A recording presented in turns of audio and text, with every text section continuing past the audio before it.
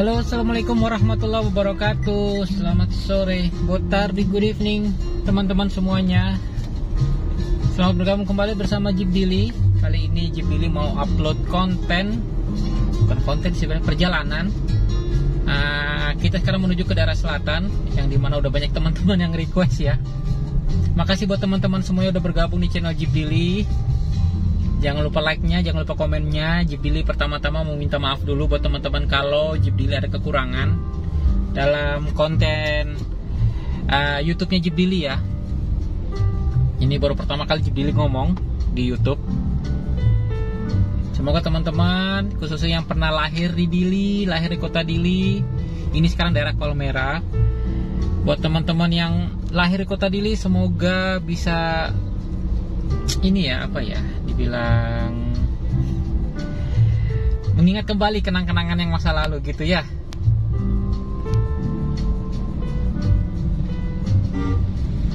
Oke, kita akan melewati ke Pite, teman-teman.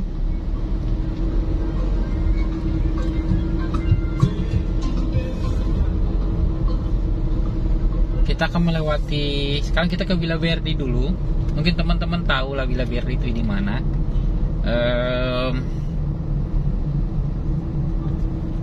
banyak daerah perumahan dulu ya zaman Indonesia tapi sekarang kita tetap masih ada Villa Verdi daerah Kolmera dulu sampai sekarang masih tetap yang sama tidak ada yang berubah tempat tempat pusat pusat bisnis ya dulu ada Sumaflo, dulu ada toko Juwita ya teman-teman. Mungkin teman-teman yang lihat kota ini mungkin tahu lah.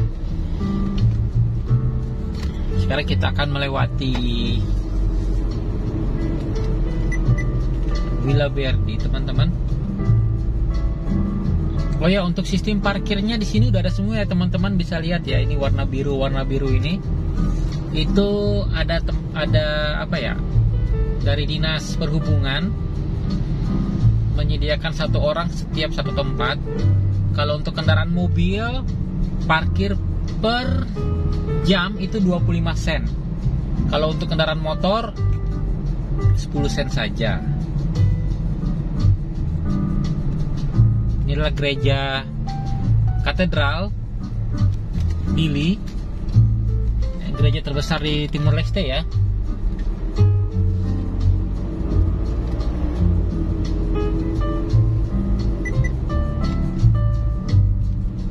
Kalau teman-teman kalau Jibril ada kekurangan mohon please dikasih tahu apa yang perlu ditambah lagi di YouTube Jibrili karena jujur ya ini konten Jibrili sendiri Jibrili yang edit sendiri Jibrili yang upload sendiri. Jadi ya beginilah.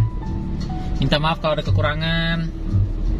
Semoga teman-teman yang dulu pernah lahir di kota Dili dan udah pindah ke Indonesia semoga bisa ini ya bisa mengobati rasa kangennya.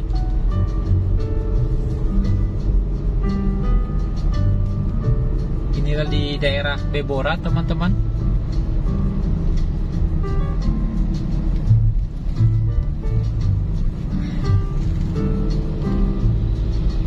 Di Bebora sini kita akan melewati saat, salah satu BUMN Indonesia yang berinvestasi di Timur Leste. Nah Pertamina sebelah kiri ya. Teman-teman bisa lihat sebelah kiri ada Pertamina. Di sini hanya jual bensin dan solar. Bensin itu Pertamax dan solar itu Pertadex. Jadi ya memang dikasih memang high class ya yang bilang kelas tinggi ya. Untuk Pertamax sekarang ini harganya maaf nggak ada subsidi. Jadi saat ini terakhir kali Jeep isi solar itu 99 sen. Kalau Pertadex 99 sen. Kalau dikursin ke 14.000 itu sekitar 13.000 sekian lah. Kalau untuk bensin Pertamax itu 1 dolar. Jadi sekitar 14.000 tidak ada perbedaan karena memang nggak ada subsidi. Jadi harga memang segitu harganya. Harga tidak ada subsidi dari pemerintah karena memang jualnya segitu ya memang segitu. Mengikuti uh, harga minyak dunia. Ini kita melewati mau masuki daerah Bayaru Pite, teman-teman.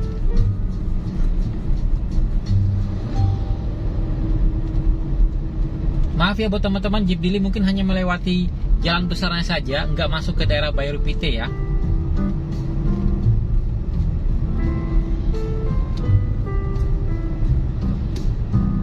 mungkin teman-teman tanya uh, pasti bertanya kenapa sih Dili nggak meng memberikan informasi dengan bahasa lokal atau bahasa Tetung atau bahasa Portugis?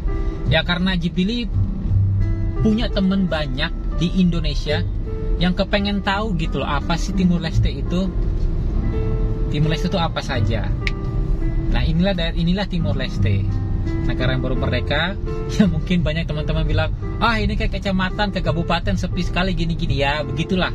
Negara kalau mau baru merdeka ya begitu. Banyak uh, siklon naik turun naik turunnya ya. Ini teman-teman daerah Baru Pite. Sungguh rame. Di sebelah kiri ini pusat per, per, perbelanjaan. Jadi sini banyak yang jual uh, barang-barang uh, alat rumah tangga atau di pasar. Sini sekarang bikin pasar teman-teman Jibili jalan pelan-pelan ya biar teman-teman bisa lihat. Jibili maaf nggak masuk ya hanya melewati di depan saja baik bayar nya kita akan melewati uh, nah bayar PT masuk sih tapi Jeep minta maaf Jeep minta maaf nggak masuk. Karena mungkin suatu saat insya Allah Jibril akan masuk di dalam. Nah sekarang ini kita akan melewati dulu katanya Brimob ya sekarang sudah dialih fungsikan menjadi uh, kantor polisinya Timur Leste PNTL Unidade Spesial Polisi. Jadi polisi spesial di sini. Ini markas utamanya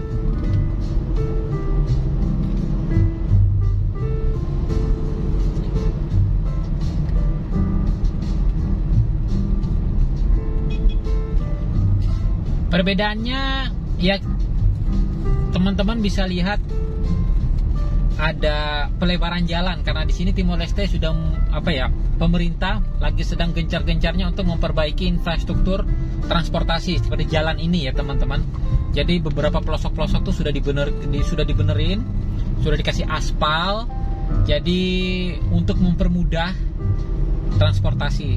Itu sudah berlaku sekitar 12 atau 13 tahun lalu untuk kota Dili dan sekarang ini tahun ini pemerintah memfokuskan uh, pembangunan atau rehabilitasi jalan itu di luar dari kota Dili seperti daerah Baukau sekarang lagi di Hosu sama BKK lagi di lagi di melakukan pembangunan atau rehabilitasi jalan yang dulu jalannya katanya sangat berbatuan sekarang lagi di mau di mau dibikin aspal gitu ya mau di mau diaspalin mau dibenerin. Jadi akses untuk dari Bogor ke VKK itu jadi lebih mempercep, mempersingkat waktu teman-teman. Ini juga baru lebar ya teman-teman lihat ya ini lebar semua.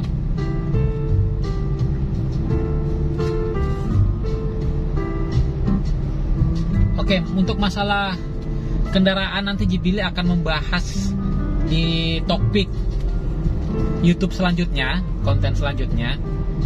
Karena pasti banyak yang tanya, ini kok kendaraan banyak ya? Ya, sebagai ininya aja ya. Um, di sini kendaraan Timur Leste untuk pribadi tidak ada pajak mobil. Kayak BPKB gitu tidak ada yang ada hanya kir atau inspeksi mobil tiap tahun.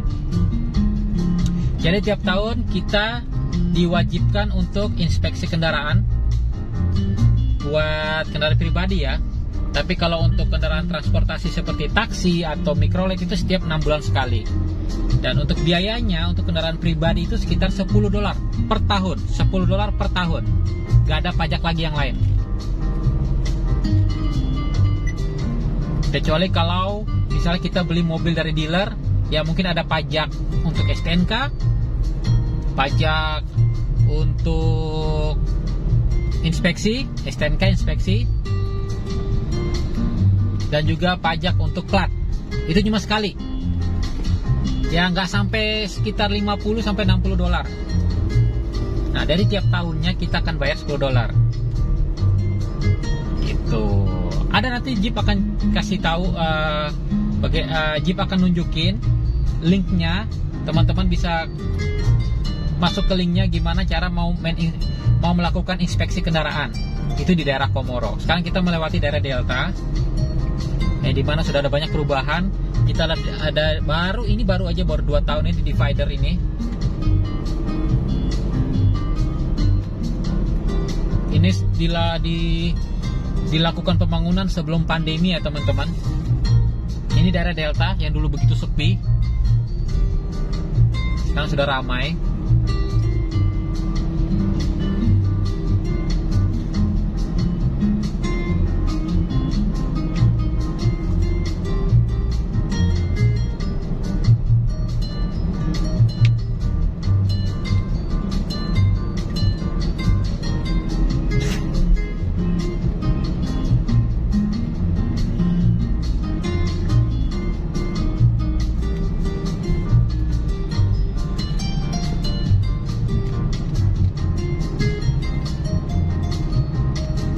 buat teman-teman yang Indonesia yang saat ini lagi menghadapi PPKM ya atau lockdown, wajib di situ lockdown. Semoga cepat berlalu, semoga bisa hidup kembali normal, semoga teman-teman di Indonesia atau di mana pun berada bisa melakukan aktivitas normal kembali. Ya kita doakan semuanya yang terbaik buat kalian semua. Uh, di di sini di Dili lockdown untuk wilayah untuk di kota Dili itu sudah dicabut ya. Tetapi tetapi kalau untuk perba, pem, apa perbatasan wilayah kota mau misalnya kita mau keluar kota dari kota Dili ini itu masih ditutup atau dijaga oleh tim satgas covid dan juga kepolisian dan dan juga uh, tentara. Tapi buat teman-teman yang sudah divaksin dua kali mau apa aja mau Sinovac atau AstraZeneca atau AZ itu tinggal menunjukkan kartu dan teman-teman bisa keluar dari kota Dili. Tanpa harus ada swab lagi. Tapi buat teman-teman yang belum ada kartu atau belum divaksin, sebelum mau keluar kota harus di di swab atau di PCR dulu. Di uh, kantor markas Satgas yang ada di CCD dekat PBI-nya mungkin ada di linknya juga ada di PBI-nya itu. Sebelah sebelah PBI itu namanya ada CCD atau kalau zaman dulu tuh dibilang Merkado Lama atau Pasar Lama dulu. Pusat pasar lama di situ.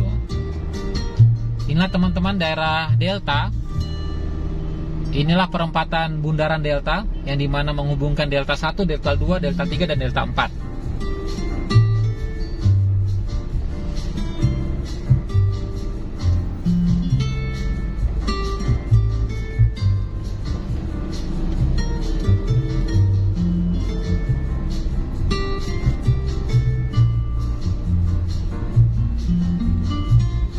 adalah polisi sebelah kanan tadi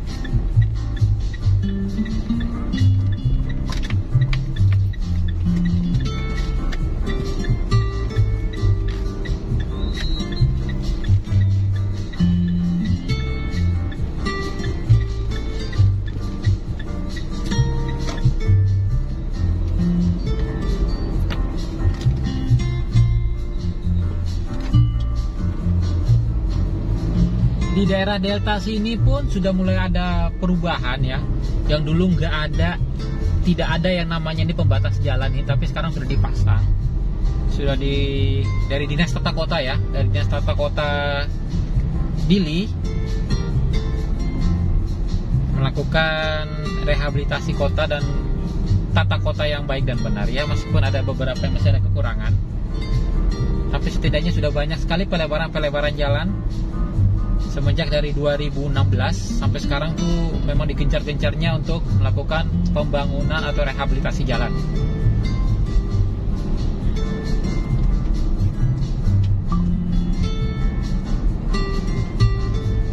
Terima kasih sekali lagi buat teman-teman yang udah bergabung di channel Jeep Dili di YouTube. Jeep Dili sekali lagi mohon maaf kalau misalnya ada kekurangan informasi atau kekurangan di tempat-tempat yang belum Jeep Dili lewati mungkin next time Jipili akan planning lagi untuk melewatinya.